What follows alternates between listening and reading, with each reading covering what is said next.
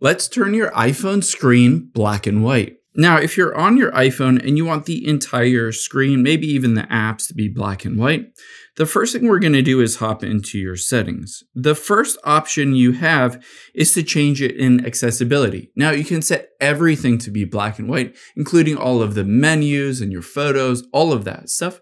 Or you can choose to just turn the app icons to be black and white. I'll show you both options. Now, the first option is we're going to go in here and we're going to choose color filter.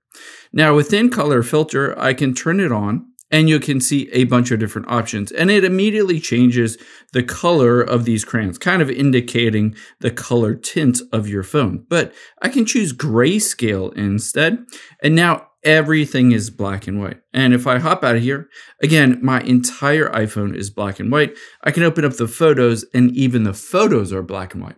So this might be what you want, but this might be too much black and white. You might just want the app icons to be black and white, but your colors for photos, all that stuff. So let's go back and turn color filters off. Now, another option we have is we can tap and hold somewhere that there is not an app. So I'm going to tap and hold towards the bottom next to the boat. And then I'm going to tap on edit and customize here.